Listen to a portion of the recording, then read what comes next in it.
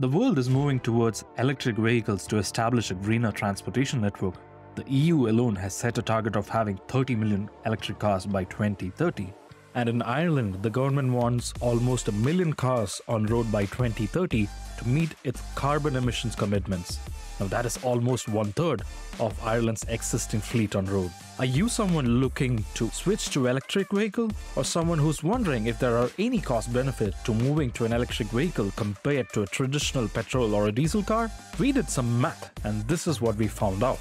When the cost of gas or petrol is equal to 1 euro and 55 cents per liter and the cost of electricity becomes 44 cents per kilowatt hour, the cost of operating an EV is almost equal as a traditional gasoline car. Interesting, but there's more to it. Hello, my name is Andren Mendes and welcome to EVSwitcher.com. We help first time EV buyers with personalized advice on making the switch to an electric vehicle.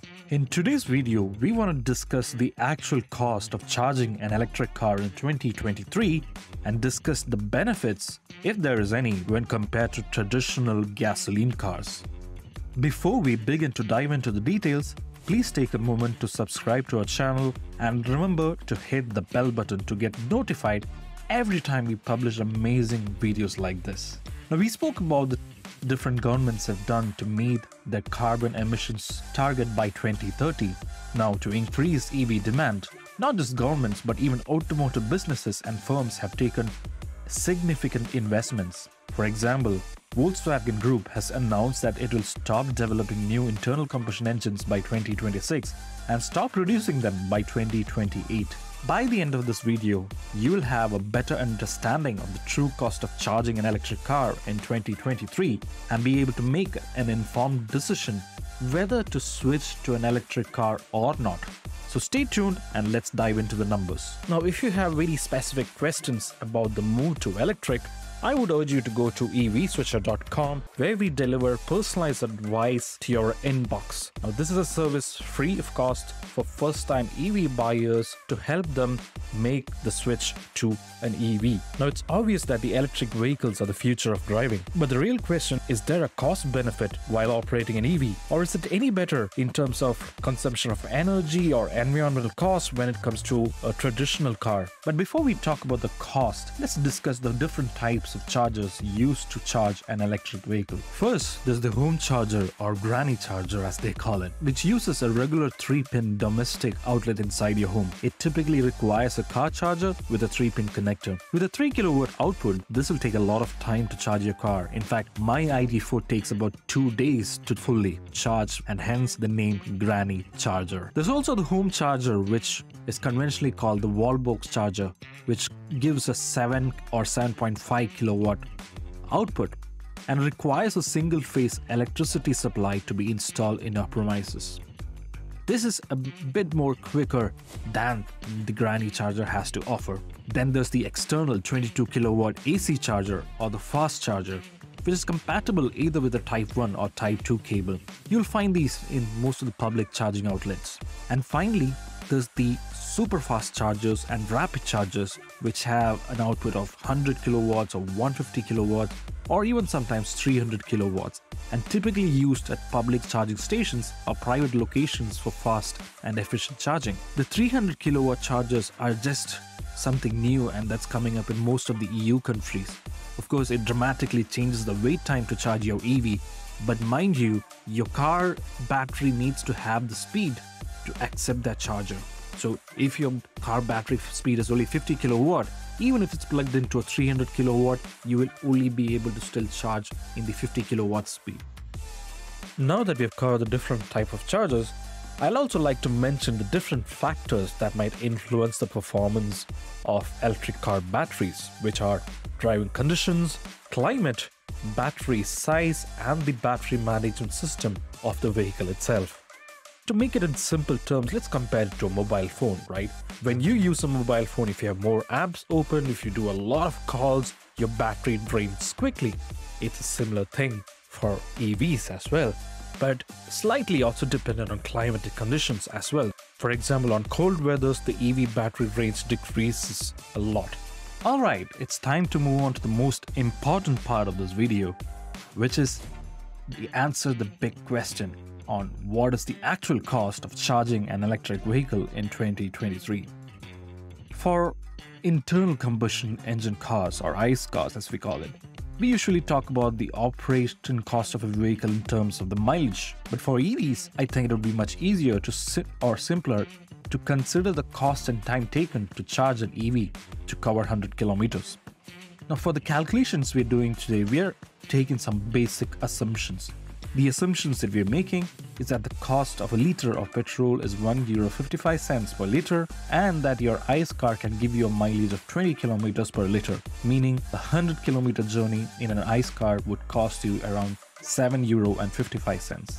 On the EV side, the assumption is that 18 kilowatt hour of charge will give you enough to travel 100 kilometers. Conventionally, we would just take 15 kilowatt hour to travel 100 kilometers in a standard test conditions. But for the sake of this video, let's be a bit adventurous, shall we? Now, let's get into the cost.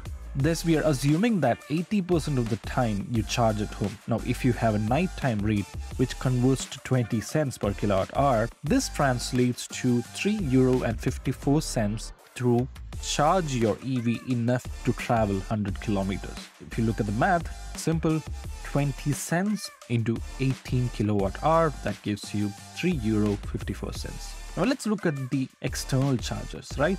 When it comes to the case of fast chargers and rapid chargers, Going by the rates published in January 2023, on the ESB side, the electricity rate is 58 cents for fast charger and 61 cents per kilowatt hour for a rapid charger, which would translate the cost of traveling 100 kilometers for a fast charger as 10 euro 55 cents and for a rapid charger at 10 euro 93 cents respectively.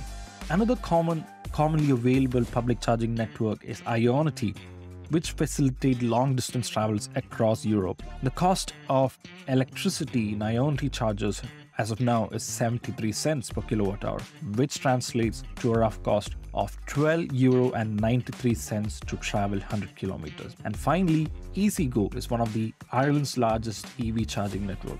As per their published cost of 70 cents, the total cost to travel 100 kilometers for EasyGo would be 12 euro 60 cents. Alright, so here's the final figures comparing all the available charging options that a EV user has in Ireland in 2023. Now that we've covered the cost of charging an EV, the next most important factor is the time required because that's the most critical part when it comes to ownership of an EV, which is very different from a traditional gasoline car. Alright, time for some more math. Let's look at what is the time taken to charge a car to travel 100 kilometers in different types of chargers. First, let's look at the granny charger, which gives an output of 3 kilowatt, which means 18 kilowatt hour, which is what's required to travel 100 kilometers, by 3, that means 6 hours. So in a granny charger, it takes 6 hours to give you enough charge to travel 100 kilometers. Next, the wallbox charger, which is 7 kilowatts. Again, 18 by 7, that's 2.57, that's roughly 3 hours. Now let's look at the fast, the rapid fast and the super fast chargers. So the fast charger of 22 kilowatt hour, it'll take you 81 minutes. For the super fast charger of 55, 50 kilowatt hour, it'll take you 35 minutes. For the rapid charger of 100 kilowatt hour, it take you 18 minutes. And for the 150 kilowatt, it would take you 12 minutes. Alright, so that's the final figures comparing different charger types and the time it takes to charge your EV to cover 100 kilometers. Alright, the final verdict, yeah? Electric cars versus internal combustion engine and cost of running. What's the final verdict?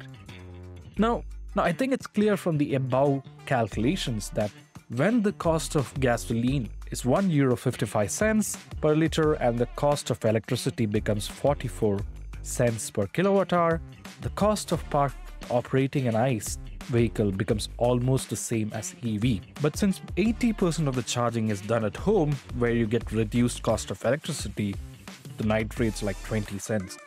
Your cost of charging an EV is considerably less than operating a gasoline car. Now, these figures that we calculated here can be a good starting point for someone looking to switch to an electric vehicle this 2023. Mind you, the path to an electric life is challenging. the public infrastructure has a long way to go before you can easily access them. I myself have been driving for four years, and I know every time when I want to access these public charging stations, I have to wait for someone to unplug from these stations or move from these stations before I can access them. So, switching to an electric vehicle is a lifestyle change that requires a bit of planning. Now, if you have any further questions about switching to an EV, come to evswitcher.com and we'll give you personalized reply to your inbox. That is evswitcher.com. Alright folks, thanks for watching this video. Please again, if you've not already done this, subscribe and click the bell button so that you get notified every time we publish some of these videos. Thanks again for watching.